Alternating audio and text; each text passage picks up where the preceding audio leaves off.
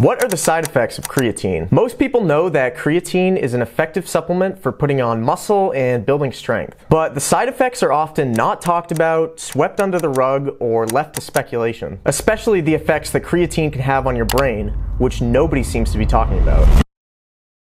So what does science have to say about the side effects of creatine? First of all, let's just get the basics out of the way. Creatine is not a steroid. It's not gonna make you blow up and put on pounds and pounds of muscle just by taking it. In fact, on its own, it's not gonna do much of anything for you. Creatine is basically like a little shuttle that helps bring energy to your muscles when they're tired during a workout. And this means that you're able to push a little bit harder, do a couple extra reps, or even another set. And over time, this can lead to building significantly more muscle than if you had never taken it it in the first place. So it's not gonna magically put on any muscle. You still have to put in the work. It just makes it a little bit easier to do so. But what else does creatine do to your body? What are the side effects of this stuff? Let's start with the kidneys. There's a lot of people out there who are claiming that taking creatine is bad for your kidneys. This probably comes from a couple of case studies, some over 20 years old, where a few individuals taking creatine ended up having kidney problems. However, according to more recent studies on these cases, the results were confounded by medications, pre-existing kidney disease, inappropriate creatine dosages,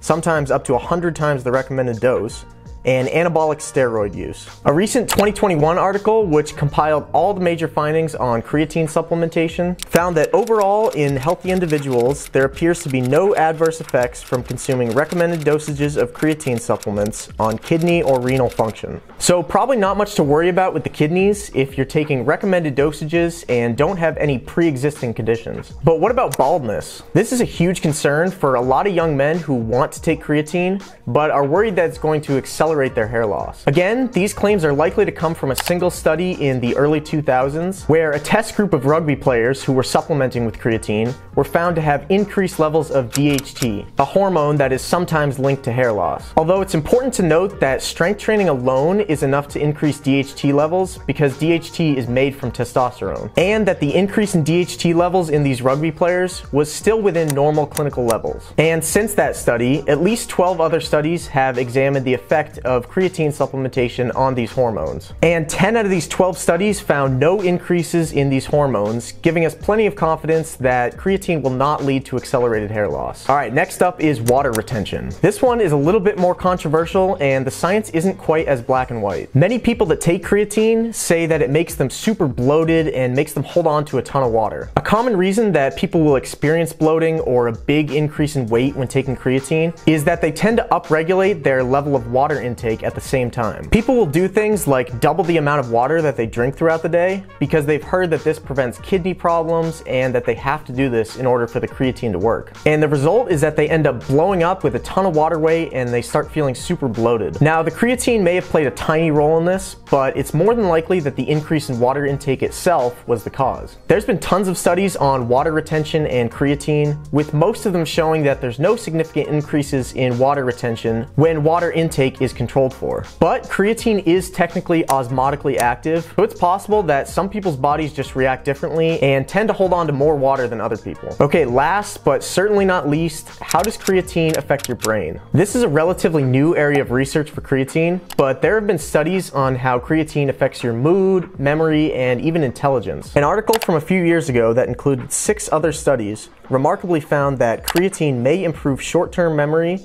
and intelligence slash reasoning of healthy individuals. Now, the trials and effect sizes were pretty small, but most of them found clinically significant differences in at least one domain of memory or cognitive function compared to a placebo. So it's not likely to make you a super genius or give you a perfect SAT score, but if you're already taking it for muscle building, it's not a bad side effect to have. And by the way, our favorite creatine is actually from Amazon and we'll link it down below. So all in all, creatine has been shown through thousands of studies to be safe and effective for almost everyone. Of course, consult your doctor if you're worried about anything, but it might be worth a try if you've been thinking about it. If you guys want more information on the benefits of creatine and what happens when you take it long term, I recommend you check out this video here where I describe what happens when you take creatine for over a year. And we'll see you next video.